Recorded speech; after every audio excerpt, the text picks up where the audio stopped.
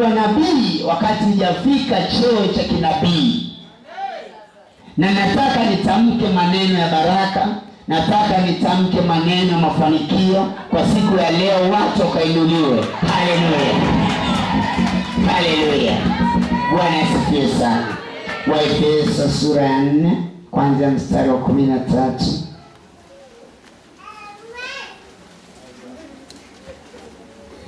Mwalimu soma Waefeso 4:13 hata na sisi sote tutakapofikia umoja wa imani na kumfahamu sana Mungu wa kumfahamu mwana wa Mungu hata kuwa mtu mkamilifu hata kufika kwenye cheo cha kimo cha utimilifu wa Kristo. bwana asifiwe sana. Biblia inazungumza kufika kwenye cheo cha kimo cha kristo. Yamkini umeokoka lakini hauna cheo. Na ndio maana kila siku unadanganywa kwa mstari mmoja tu kwamba nabii wa uongo manabii wa uongo. Alafu shetani amesainiwa mstari kwamba msitoke kwenye mstari wa manabii wa uongo. Nafundishwa cheo wangapi wanataka cheo cha namna? hebu mpigie yesu makofi kabisa. Haleluya tasoma tena rudia tena mstari wa kumi na tatu. Hata na sisi sote tutakapokufikia umoja wa imani na kumfahamu sana mwana wa Mungu.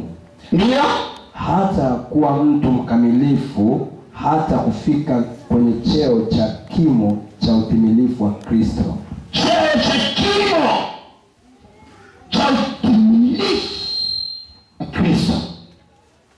Imani. Imani ndio inakufanya wewe kuwa na cheo na kumwona kristo. Imani. Pasipo imani haiwezekani.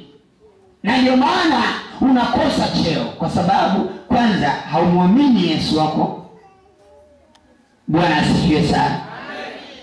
Una haumwamini kristo kabisa. Unataka kupata cheo na ndio maana mtu akisema mimi nimetoka kwa nabii mchungaji anakuambia hakuna manabii. Fungua anakuambia fungua sehemu fulani manabii wa uongo ndio wamejaa. shetani amemnyima cheo yule mtumishi kwa sababu hajaenda mbele za mungu kikamilifu. Na shetani anasababisha usipate cheo kwa kuwewe kutenda dhambi kuto kumfikia kristo bwana asifiwe sana. Na ndio maana utadanganywa kila siku kwamba kuna manabii na wale wanayekudanganya kila siku hawana imani na hawana maneno ya kuweza kukusaidia wewe. Hawana upako wa kukuinua wewe. Nilikuwa jumaa eh, ijumaa nilikuwa nikifundisha elisha alivyoondoka na watumishi wake kwenda kukata miti huko kwenda kujenga sehemu pa kukawa wa waisraeli boriti la shoka lilivyodumbukia kwenye bahari kwa sababu mtoto wa kinabii akamwambia baba tunaomba tuende pamoja. Basi wakaenda wakakata miti boriti likazama kwenye bahari. Na shoka hamna shoka tena ya kukatia alafu shoka umeazima. Mwana wa israeli anaamka anasema baba shoka limedondoka na mimi naenda leo kuuawa nimeazima hiyo. Akamwambia imeangukia wapi? Akamwambia hapa. Kavunja kijiti akatupa kwenye maji. Shoka likaelea juu. Eh? shoka likaelea juu. Shoka lilivyoelea juu akamwambia mwanangu okota sasa. Na ndivyo sasa manabii wanatakiwa kwenda na watoto wao wa kiroho maisha yako yanavyodondoka nabii anatakiwa kuinua maisha yako na kukukabidhi katika jina la yesu. Haleluya hebu mshangilie yesu. Maisha yako yanavyodondoka lazima nabii ataokota maisha yako anakuambia chukua. Imani yako inavyodondoka nabii atainua imani yako. Mapato yako yanapodondoka nabii atainua mapato yako utapokea na utaendelea kumwinua yesu kristo. Hebu mpigie yesu makofi. Pigie yesu makofi na vigelegele zaidi zaidi zaidi zaidi zaidi zaidi zaidi. Haleluya haleluya. Cheo hiyo cheo cheo. Eh, cheo hiyo. Unapata kufundishwa katika viwango vya juu. Ukipata cheo cha kristo lakini lazima kwanza uwe na imani. Imani. Ukishakuwa na imani sio zile roho za kutishiwa kwamba utazikwa. Utatengwa kundini. Mwana wa mungu hakuna matengano sasa. Na kuambia hakuna matengano hapa kwa manabii. Hapa ni kuinuliwa na kusonga mbele. Pigie yesu makofi na vigelegele nimechoka kutishiwa kila siku natengwa haleluya. Nimechoka kutengwa kila siku. Bwana asifiwe sana. Kumi na tatu mstari tunaendelea kurudia. Itawafungua zaidi itawafungua zaidi. Kumi na tatu tunarudia. Kwa point point hadi point. Amina? Kumi na tatu mstari. Point hadi point. Amen? Amen. karibu. Hata na sisi sote tutakapoufikia umoja wa imani tutakapofikia umoja wa imani na kumfahamu sana mwana wa mungu. na kumfahamu sana sana. Sio kidogo akaweka nukta. Amesema kumfahamu sana. Sio ile njaa tumboni sio ile mahubiri ya kutafuta fedha. Na kumfahamu sana mwana wa mungu. Bwana asifiwe sana yaani sana kabisa yani ikasistiza kumfahamu mwana wa mungu sana. Sio kidogo. Sio jinsi unavyohubiriwa vichekesho vichekesho ambavyo havina maana. Mtu anakuambia disi alio aliokula jana si kuna moja imani kwamba leo nikienda kwa nabii mimi nina matatizo ya vidole vyangu hivi nataka nikifika tu nikifanya hivi. Nabii akitamka nimekwisha kuwa sharukuru amina. Alafu unachekea kwenye imani sasa. Alafu unafurahi kwenye imani. Haleluya hebu mshangilie yesu. Bwana asifiwe. Akasema kumfahamu sana mwana wa mungu. Kumfahamu sana mwana wa mungu. Ehe hata kuwa mtu mkamilifu. Hata kuwa mtu mkamilifu. Kuwa mkamilifu akaweka nuta. lazima utakavyokuwa mkamilifu utakuwa una nguvu za yesu kristo. Utafikia kwenye kile cheo cha imani cha kristo.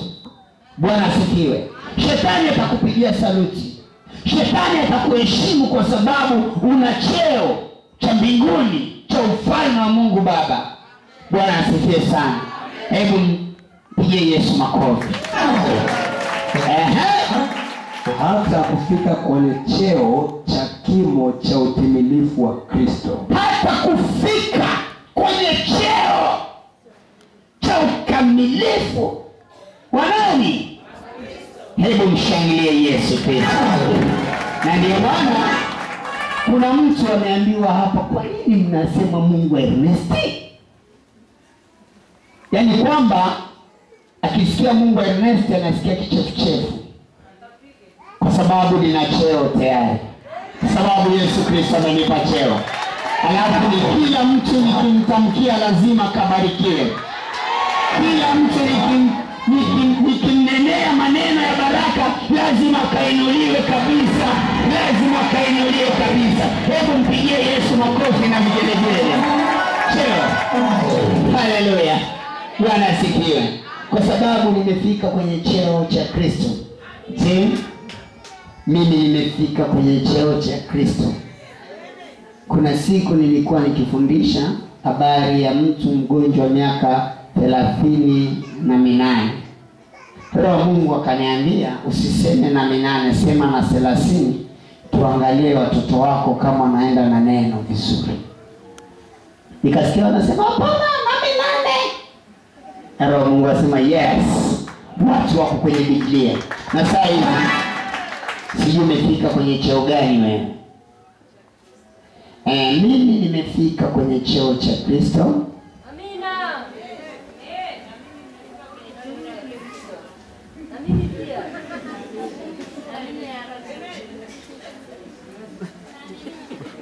mimi nimefika sasa kwenye cheo cha kristo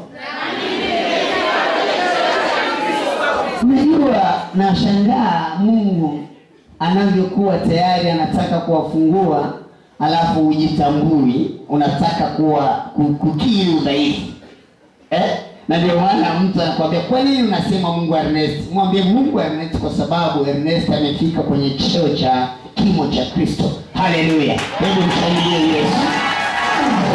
Mimi nimefika kwenye cheo cha kimo cha sijui wewe mwenzangu shange shange shange shange shange kabisa.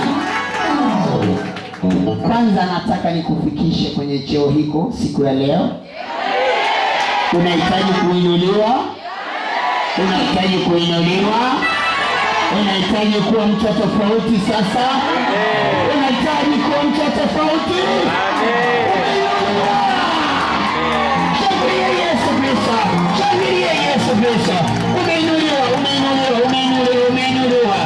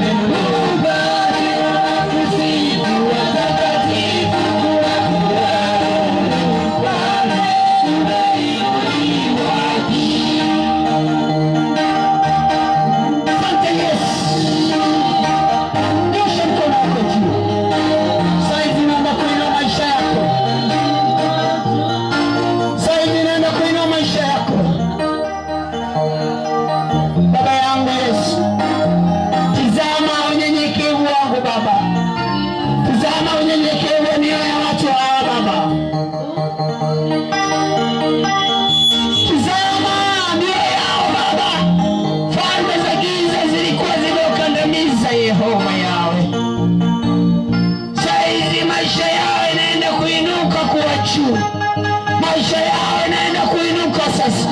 Nimeona malaika wa Bwana akija kuinua maisha ya watu katika hema hili. Malaika gusa mikono yao Baba, malaika gusa mikono yao, malaika gusa mikono yao. Maisha yao sasa yanaenda kuwa safi ndani ya nyumba zao. Oh, falme zote, oh Yesu Kristo akirudi na maserafi na kuinua Bwana, oh, anawatamkia maneno ya baraka sasa.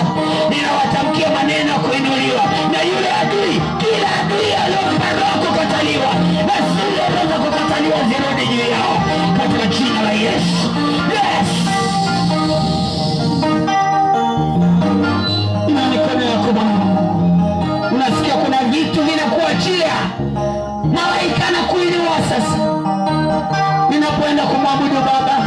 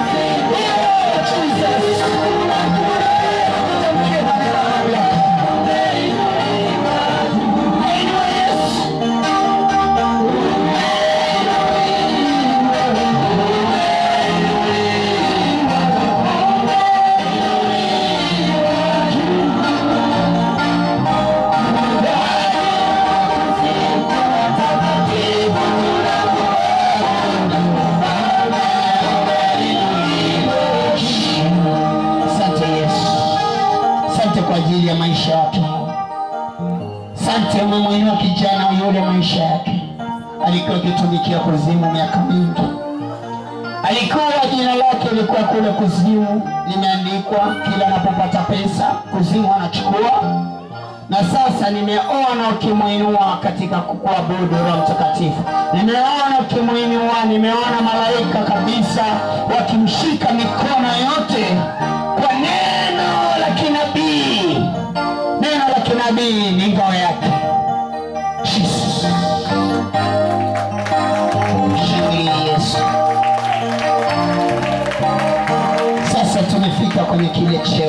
Kristo nimeona kabisa kwamba siku ya leo si kuwagusa, ni kuwatamkia tu, na ninavyotamka sasa, maisha yako yanaenda kuinuliwa. Nimeona umeinuliwa, umeondolewa kwenye magonjwa, umeondolewa kwenye magonjwa, umeondolewa kutumikia magonjwa kila siku. Asante Yesu. Nimeona kijana, wewe kijana umeinuliwa Nimeona malaika akienda kukata zile kamba uliofungwa kiunani, ulikuwa umefungwa kamba kiunani, zimekatwa. Nikaona malaika wakikutoa katika ngazi yani ngazi. nabii anatamka baraka juu ya maisha yenu sasa kila adui aliyokuwa ametupa roho za kukataliwa juu ya maisha yako zile roho za kukataliwa zimrudie yeye